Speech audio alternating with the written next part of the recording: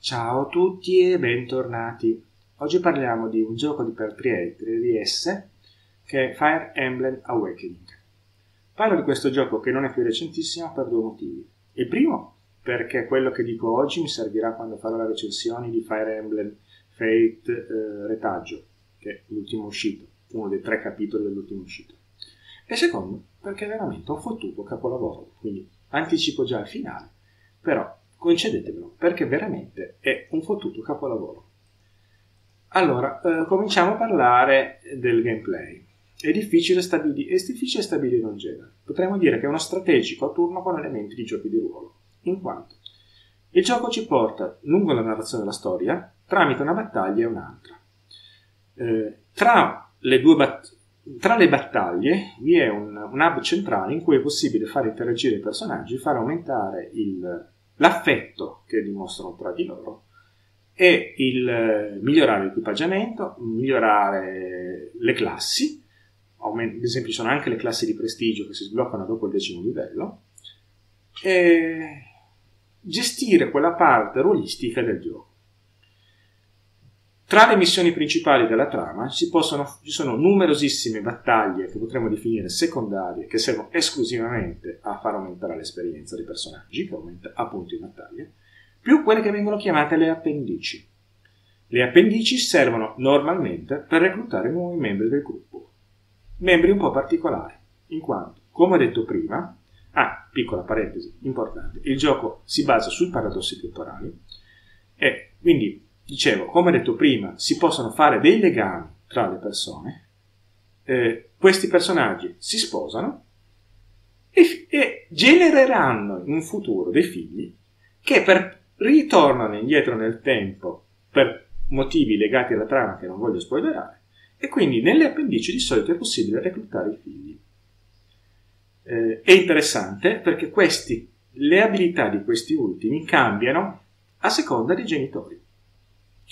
Se per esempio il, la figlia, se ad esempio per esempio una delle figlie dei protagonisti sarà sempre comunque lei, eh, si chiama Na, se con un certo padre potrà avere determinate caratteristiche, con un altro è addirittura inarrestabile. Però questo non ve lo dico perché al di là di tutto è anche carino far sviluppare i personaggi e i sentimenti eh, come, come, vengono, ecco, non, senza forzare le cose. Comunque sappiate che esistono delle combinazioni migliori.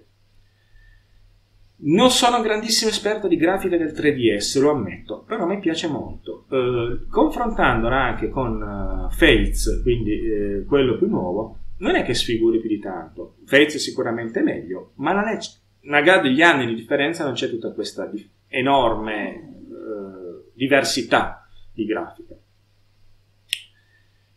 Le battaglie sono droganti, sono battaglie a turna, in cui noi comandiamo il nostro manipolo di eroi e contro avversari. Nel 90% dei casi significa vincere la mappa significa eliminare gli avversari, nel 10% dei casi eliminare il boss. Non è che ci sia tutta questa grande varietà di tipologie di missioni da fare.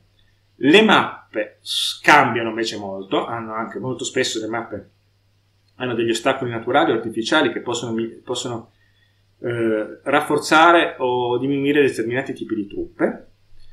Eh, ed è quello che è veramente fatto bene è il combattimento che si basa sul sistema eh, sasso-carta-forbice. Eh, verrà poi migliorato in, success- in, in, ehm, in futuro, però eh, basti, diciamo che ogni tipo di arma ha un vantaggio rispetto a un altro tipo e uno svantaggio rispetto all'altro tipo. Eh, adesso non mi ricordo esattamente quali sono, però ad esempio mh, eh, lo stesso vale per le unità, ad esempio eh, le unità volanti hanno un vantaggio rispetto a quelle terrestri, quelle terrestri hanno un forte vantaggio rispetto a quelle a distanza, quelle a distanza hanno un forte vantaggio rispetto a quelle volanti questo, per, anche questo qua me lo ricordo meglio, quindi per far capire come funziona il sistema sasso carta forbice.